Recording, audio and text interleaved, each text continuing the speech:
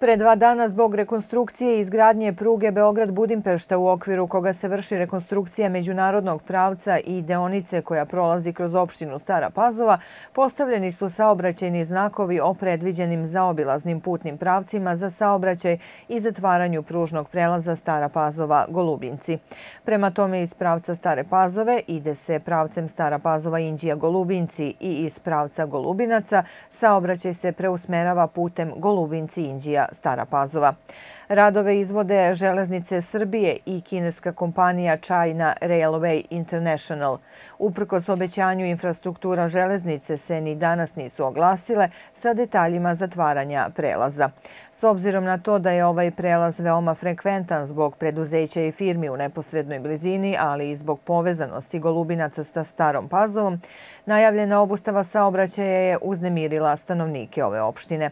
Opština Stara Pazova, bez obzira na postojeće alternativne pravce, priprema obilaznicu u dužini od 5 km, tako da će se iz pravca Golubinaca skretati u desno ka Vojačkom nadvožnjaku, kaže predsjednik opštine Đorđe Radinović.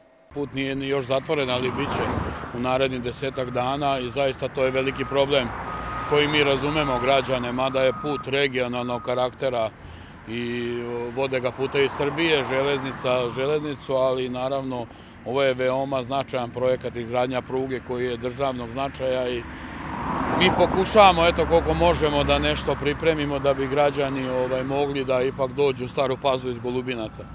Radit ćemo obilaznicu, znači mada su nam sad jako teške vremenski uslovi, vidite da je ovde veliko blato, ali mi smo počeli i radit ćemo, nadam se, ukoliko bi vreme koliko toliko dozvolo ili čim bude dozvolo, napravit ćemo obilaznicu, znači ovde iz pravca Golubinaca, da se faktički skrene desno i da se izađe na nadvožnjak u Vojki, tako da bi moglo da se pređe u Staru pazu. Drugog načina zaista nemamo, projekat je, kažem, državnog značaja i nemamo nemamo mogućnosti da se to ne desi u principu, mada ovaj, molim građani za strpljenje i razumevanje, pošto taj projekat je veoma značajan na kraju krajeva, bit će nadvožnjak za Golubince, neće više biti prelaza sa rampom i tako dalje, što je veoma značajno u budućnosti za građane naše opštine.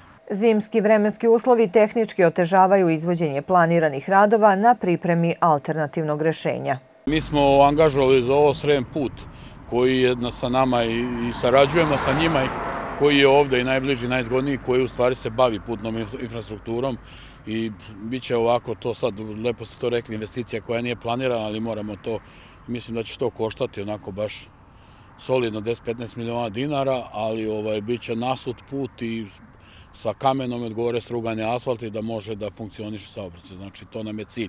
Kažem, jako je veliki problem što sada loši vremenski uslovi. Mi smo se nadali da će to biti posle marta. Međutim, ovaj projekat kasni, ubrzavaju železnice, pa ćemo videti koliko nam bude vreme dozvoljavalo. Pripremit ću, ja se nadam da ćemo u naredni 20 dana, 30 to pripremiti da može se krećiti tom saobraćajnicom novom, tako da kažem. Zbog nedoumica koje je izazvala postavljena tabla na centru Stare Pazove, a vezano za zatvaranje pružnog prelaza Stara Pazova Golubinci, veliki broj sugrađana se obratio našoj redakciji sa pitanjem kako će se u narednom periodu putovati u ovo staropazovačko mesto. Kako radio televizija Stara Pazova saznaje, saobraćeno preduzeće Lasta Srem i dalje redovno prevozi putnike do i iz iz Golubinaca i tako će i biti sve dok je fizički prelazak preko pružnog prelaza moguć. O eventualnim promenama u saobraćenju autobusa na liniji Stara Pazova-Golubinci Lasta će blagovremeno informisati putnike.